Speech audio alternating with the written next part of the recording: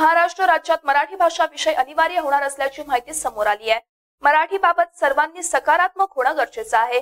सर्व माध्यमांच्या शाळेत मराठी विषय सक्तीचा करण्यासाठी पुढाकार घेणार असून आपल्याच काही मुलामुलींना मराठी लिहिता वाचता येत नाही हे योग्य नाही. आपण महाराष्ट्रात राहतो त्यामुळे प्रत्येकाला आपली मातृभाषा आलीच पाहिजे असे मत उपमुख्यमंत्री अजित पवार यांनी मांडलंय.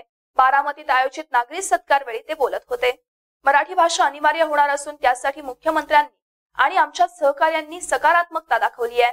यासाठी सर्व माध्यमांच्या शाळेत मराठी विषय सक्तीचा करणार असल्याचे उपमुख्यमंत्री अजित पवार यांनी म्हटलंय. अलीकडच्या काळात माझ्याकडून एक गोष्ट लक्षात आलेली आहे. मुला मुलींचं इंग्रजीमध्ये शिक्षण घेण्याचं प्रमाण वाढलेलं आहे. आणि त्याच्यामध्ये ते उत्तम पद्धतीचं इंग्लिश बोलतात. परंतु काही अशा गोष्टी घडायला लागल्या की त्या मुलांना मराठी वाचता येत नाही आणि लिहिता येत नाही. हे आपल्या महाराष्ट्राला न शोभणारी बाब आहे. शाहू फुले आंबेडकरांचा महाराष्ट्र आहे पुरोगामी विचाराचा महाराष्ट्र आहे छत्रपती शिवाजी महाराजांचा महाराष्ट्र मी आम्ही सगळेच जण मंत्रिमंडळामध्ये लवकरच एक विषय आणणार आहे की या महाराष्ट्रामध्ये ज्या ज्या शाळा असतील त्या उर्दू असतील त्या हिंदी असतील त्या मराठी असतील त्या इंग्रजी असतील ज्या भाषेतल्या असतील त्या भाषेतल्या. तिथं पहिली पासून दहावी पर्यंत मराठी विषय कंपल्सरी त्या ठिकाणी करणार आहे. तुम्ही महाराष्ट्रात राहताय?